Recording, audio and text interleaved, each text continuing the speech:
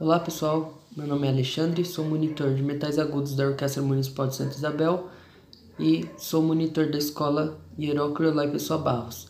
Na aula de hoje nós iremos falar sobre linhas suplementares superiores e inferiores. Nós já falamos isso há um tempo atrás, mas muitos não vão lembrar, que é normal, a gente acaba esquecendo algumas coisas, tá bom? Mas nós iremos relembrar porque iremos utilizar nas próximas atividades, tá bom? Então, vamos lá para a explicação.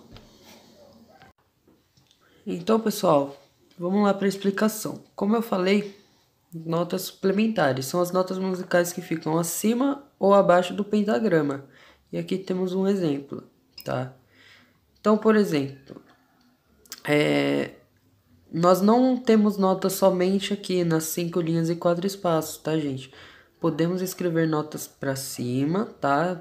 Infinito aqui, ó, tanto que tem aqui etc. Então, é, pode ir subindo, tá? E descendo também, é infinito, mas assim, depende também da tessitura de cada instrumento. Que, que seria isso? É, eu não vou pegar, por exemplo, é, um trompete e tocar uma nota lá em, aqui embaixo, assim, por exemplo, tá? Não tem como, gente, tá bom? Não tem como, porque é muito grave e já é uma região que o trompete não chega, tá?